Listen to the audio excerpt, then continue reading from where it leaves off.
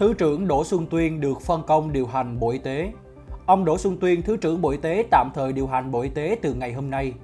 Chánh văn phòng Bộ Y tế Hà Đức Anh sáng ngày 7 tháng 6 cho biết đã nhận được công văn của Văn phòng Trung ương Đảng thông báo phân công nhân sự. Bộ Chính trị đồng ý phân công Thứ trưởng Đỗ Xuân Tuyên, Phó Bí thư Ban Cán sự Đảng, Bí thư Đảng ủy tạm thời điều hành Bộ Y tế từ ngày 7 tháng 6. Ông Đỗ Xuân Tuyên, 56 tuổi, quê quán Tiên Lữ, Hưng Yên.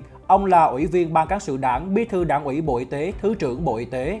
Lĩnh vực phụ trách y tế dự phòng, y tế cơ sở, tổng cục dân số, văn phòng bộ, lĩnh vực thanh tra. Ông Đỗ Xuân Tuyên từng giữ các chức vụ Phó Bí thư Thường trực tỉnh ủy Hưng Yên, Chủ tịch Hội đồng Nhân dân tỉnh Hưng Yên. Tháng 12 năm 2019, ông được điều động bổ nhiệm giữ chức vụ Thứ trưởng Bộ Y tế.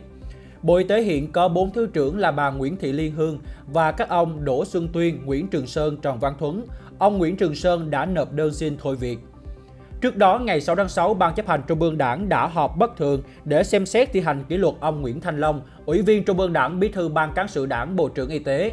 Theo kết luận của Bộ Chính trị, ông Nguyễn Thanh Long đã suy thoái về tư tưởng chính trị, đạo đức, lối sống, vi phạm quy định của đảng, pháp luật nhà nước, vi phạm quy định về những điều đảng viên không được làm, quy định trách nhiệm nêu gương, gây hậu quả rất nghiêm trọng, làm thất thoát lãng phí lớn ngân sách nhà nước, ảnh hưởng đến công tác phòng chống dịch Covid-19, gây bức xúc trong xã hội, ảnh hưởng xấu đến uy tín của tổ chức đảng Bộ Y tế.